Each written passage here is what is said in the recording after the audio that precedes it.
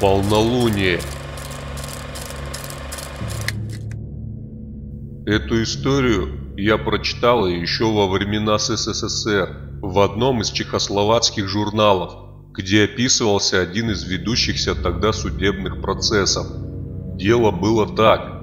Молодой педагог после окончания пединститута по распределению приехал сроком на один год в одно из забытых богом сел. В разговоре с председателем местного совхоза речь зашла об учительском домике, в котором до сей поры останавливались все приезжающие по распределению учителя. «Вы навряд ли захотите жить в том доме», — сказал председатель. «Лучше возьмите съемную квартиру. Дело в том, что та учительница, которая была до вас, повесилась в том доме, но парень возмутился и заявил, что он современный и просвещенный молодой человек, ни в какие суеверия не верит и намерен жить в учительском домике.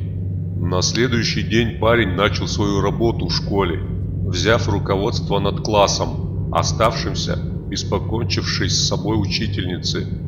Около месяца ничего необычного не происходило, пока не наступило полнолуние.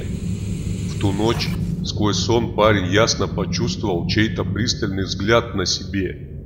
Открыл глаза и в лунной дорожке увидел женщину со следом от веревки на шее. Она протягивала к парню руки, будто желая схватить его за горло. Дальше молодой учитель провалился то ли в сон, то ли в обморок и очнулся уже только утром. При свете дня все случившееся ночью показалось лишь сном, и парень успокоился, но лишь до следующего полнолуния, когда ночной кошмар полностью повторился. Желая разобраться, что происходит, учитель порылся в школьных архивах и нашел прошлогодние фотографии своего класса. Предыдущей учительницей оказалась именно та женщина, что приходила к нему в лунные ночи. Будучи убежденным атеистом, Парень рассудил, что раз она к нему приходит, значит, она живая, до нее можно дотронуться и выяснить мотивы ее поступков.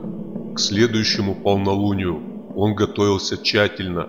Все-таки ему было жутковато, и он, во-первых, для храбрости вечером крепко выпил, а во-вторых, привел домой знакомую девушку, с которой у него были близкие отношения – уже знакомая ночная напасть вновь повторилась. Жуткое видение протягивало руки с явным намерением задушить, но в этот раз не к парню, а к девушке. Еще не протрезвевший парень схватил привидение за шею и начал давить, что было сил на след, оставшийся от веревки. И вдруг он услышал леденящий душу смех за своей спиной.